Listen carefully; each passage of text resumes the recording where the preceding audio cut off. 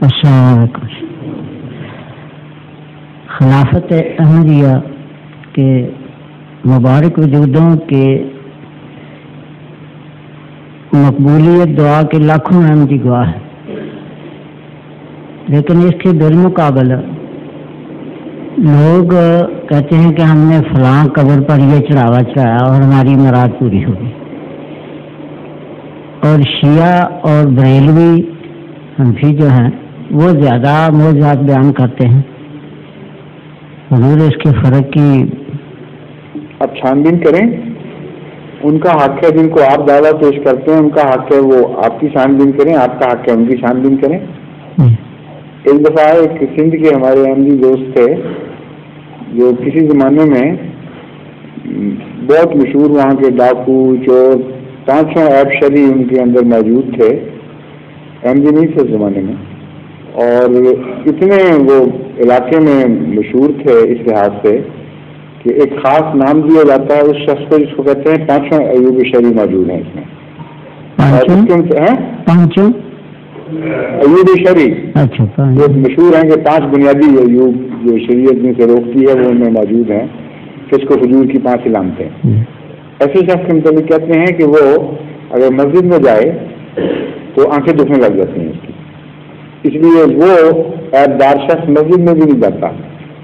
وہ صاحب جب ایم جی ہوئے تو ان سے کسی نے پوچھا کہ آپ بتائیں یہ بات سچی ہے کہ نہیں؟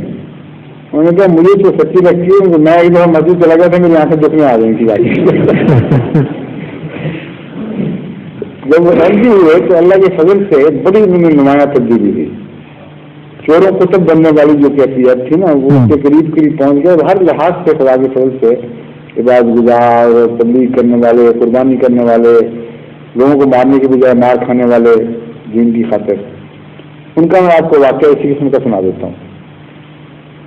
انہوں نے بیان کیا کہ ایک دفعہ میں گیا تو ایک پیر صاحب کی مجلس لگی ہوئی تھی اور بہت ہجوم تھا، بہت مشہور پیر تھے کوئی، اور باہر لوگ بیٹھے ہوئے، ان کے خلیفے، ان کے دوسرے باتیں کر رہے پیر صاحب اندر تھے کہیں تو میں چلا گیا، میں نے امجد کی تبلیغ شروع کر دی، انہوں نے کہا کہ تم ہمیں یہ بتاؤ کہ مرزا صاحب کا کوئی معجزہ ہے؟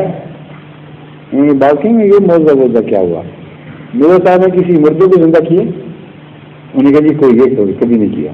مجھے لمٹ سکتا انہوں نے کہا کہ ہمارا کوئی تو مردے زندہ کرتا۔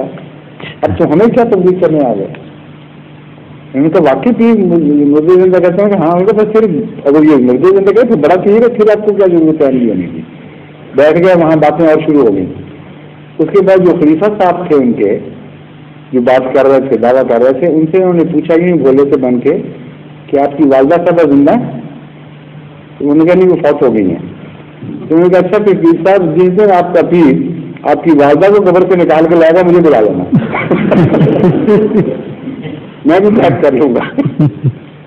تو ہاتھ کنگن کو آپ سے کیا یہ ہوتا ہے؟ تحقیق کا ہاتھ۔ کوئی دکھائیں بات کوئی دوسری آنکھ بھی دیکھے۔